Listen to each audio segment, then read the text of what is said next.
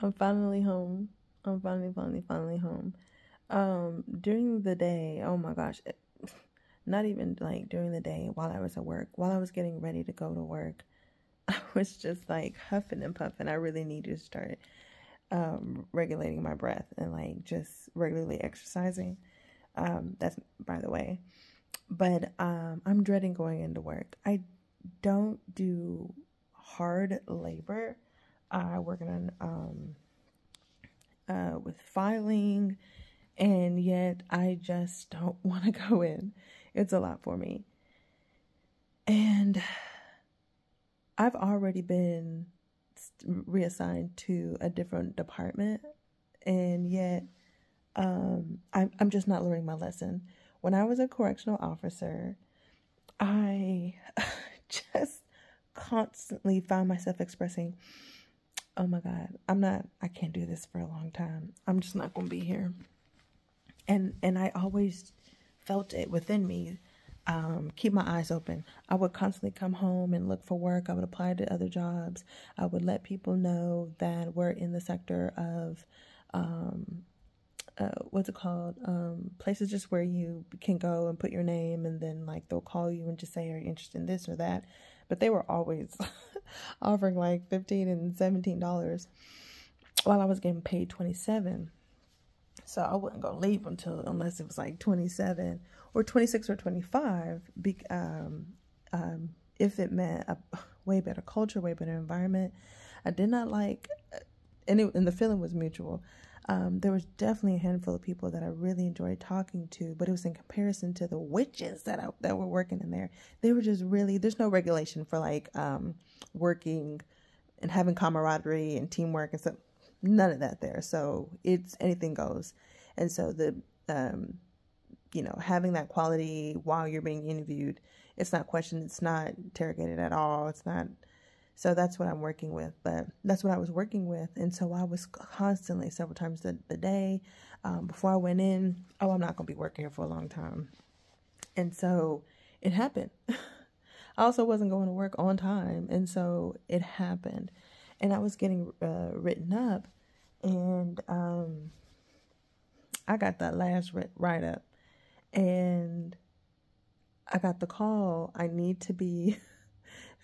I need to say before the panel, uh, because in this particular organization, you can't get, it's not that you can't get fired. The process in getting fired uh, uh, um, starts off with sitting before the, um, not police chiefs, the chiefs in the sheriff's department. And so I was late. I was so late, the meeting had to just end because it had already started and I wasn't present and they had to reschedule. And so um, they ended up just calling me on the phone and saying, hey, um, we're going to reassign you to a, uh, we're going to demote you and put you in a different department. And so now I'm there. I'm in that different department and I'm getting paid um, $9 less. And I find myself saying this again. And it's going to happen. I'm going to, uh, now being demoted is me sitting in my car. So me laying down, be me right where I'm at right now, just on my couch. So I'm not trying to get demoted. Um, um, I even want to feel um, bad about that, but when I got the call, I felt, I felt, oh my gosh, it happened. I felt, sh- I don't. Have you felt like shock, but then you're aware of it was coming? Like, so it was simultaneous. I did feel like, okay, this is how it's happening. It's happening right now and also relief. I remember being like, oh my God, I never have to go back to that area of the jail again. Oh my God, I'm even able to relieve it now. And um, so there was relief there, and there's still relief now, presently, um, in comparison to that part, um, just being directly with the inmates. Mm, that wasn't. It was really just with the um that those particular that particular group of um that position as a correctional officer in that tower that I was experiencing. But um now I just, it's I don't want it. I don't want it.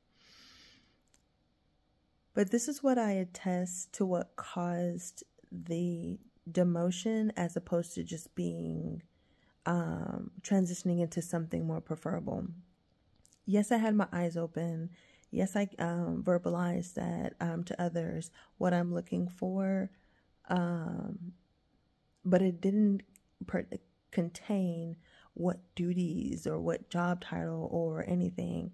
Um, I'm not looking for a job ever again in life, but I definitely want to and need to make money so I can pay my bills and um, eat and um, take care of myself and my children. But um, it's gonna happen again. The words that are coming out of my mouth that I con- con- that I constantly repeat or are going to manifest, and uh, when they when it happens, my light's flicker, my dimmer is flickering. So I was like, I'm change it, nah. But um, uh, it's I I want to convey to those listening to this video that um, it is impaired. But the same thing happened, glory be to God, February 6, 2023, when I started January 6th, but it uh, manifest. When I say manifest, it, it became a reality. I just really get, I, I don't cringe at the term just like the rainbow, it's so beautiful, but it just um, people have hijacked it and and just pumped it up with another meaning that I I don't feel 100% comfortable um, using a rainbow, coloring a rainbow, wearing a rainbow shirt. It's unfair. um, but with the term manifest, it's it's an English term, um, but when when I see videos on social media, I immediately scroll because I'm just like, I don't want your evil witch powers coming through my phone. Um, so let me use a synonym.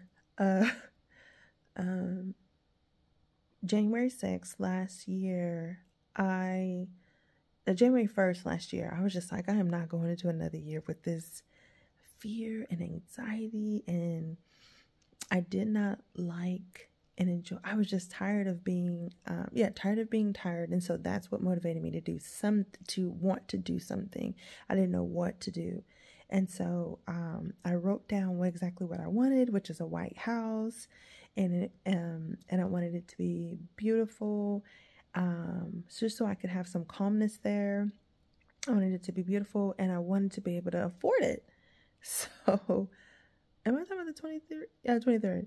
And so um, the job I had already gotten had they was like, "Here, you want this bonus?" So I got they gave some money, but I kept repeating that same what I, I was looking for, what I was looking for, along with a deliverance prayer by Derek Prince online, and um, by February sixth, I sat down with a friend at um, she was showing some houses or something like that. She's a realtor and she was having some kind of meeting with uh, someone and uh, she was like hey i can meet you later. So i met up with her uh, as soon as she was done um, just a restaurant in that same area. And, she, and i told her my story and she was just like i can help you i know someone and he, she knew the owner of this house that i'm renting and um, I she was like, "Here, message him." I messaged him. He was like, "Shoot me, shoot me the first month's rent." shot him the money. He was like, uh, keys are, this is how you get the key. I was in 30 days. I was like, I cannot go through this year. I? In January 6th, I was like, uh, January 1st, I was like, I can't do go through this year. Can't go through this year. But January 6th is when I wrote down what I wanted, and my house is predominantly white now, and it's beautiful to me. Um, thank God I got a job and I can decorate it the way I want. And so I'm going through that right now. I don't like, it's not that I just don't like this job. It also me, does not like me. And so there are confrontations spewing out, but that's not the biggest problem. I'm physically tired. and also, it doesn't match the schedule um, for the best safety of my children. And um, the doing all this work for such little money is to me dumb. There's so many other ways. And I just want Yahweh to open up my mind and allow me to use the creativity. I have six books out online on Amazon. I have um, the skill to be a ghostwriter for others. Um, I um, have the ability to write for um, just scripts and com- I don't know about comedy because I haven't, but um, I just want to use the talent that I know that I have. What kind of life would that be? Um, the inventions that I have been using my money for. I would love to see the fruit of it all, the financial fruit of it all, and live off of it and be a blessing to my siblings, my my parents, myself, uh, my children. Um, it's just this what I'm living just doesn't make sense. And so the only thing I'm repeating is I'm tired and I'm I I, I don't want to be in this job. I don't want to see the inside of this gel again. Um but if I can remember what has helped me just a year ago, which was writing down exactly what I wanted, which is Habakkuk 3, 2. Everybody was like, Habakkuk, write it down and make it plain so that it could be delivered, um, so that he could run with it. Um, I'm close. I'm not on it. I don't know if it's, I know it's Habakkuk. I know it's 3. Um, I think I used to think it was 2 2, but I think it's 3 3 um, or three two. It starts with three two and three three. Um, r- write the plan down and make it plain. But um, I've written it down, and I've made it plain, and um, there's a doubt trying to spew in saying you've done this in the past, but your life hasn't really drastically changed. Yes, it has. And I I was able to leave uh, mistreatment and be aware of the severity of the mistreatment that I was experiencing. And so, glory be to God for that. Because um, denial just have you enduring for no reason. um, but I submit that on to you guys. I want to encourage and grow with um, anyone who is willing to, to be aware of where they are and understand that the world has so many more beautiful things to offer you. and they're the creations of God that created you. And asking God, may I be in contact with that thing, is like a child asking their parent, may I have what is inside that store? And the parent may or may not have the means, but I know that um, it becomes a desire of their theirs to to um, give to that child that listens and obeys and abides um, if it doesn't take them away from God's will, from the parent's instruction, or doesn't bring harm to them. Um, God does literally bless us with our prayers. Um, but um, this time is going to be, let it be in your will, Father God, uh, so that I'm not praying to get out of it or praying to change this or that. Um, I keep looking at my screen even though it's my light that's flickering. Got more coils. You guys have a wonderful night. It is night as I'm taping this. But glory be to God for every and all things that I have and don't have right now. Glory be to God to you and where you are and the condition that you're in. Um, I know that it's Paul that says, wherever we were, whenever we uh, we receive Christ, stay in that position and remain in that position and glorify Him that way. I don't know if it says glorify Him that way, but it does say stay where we are.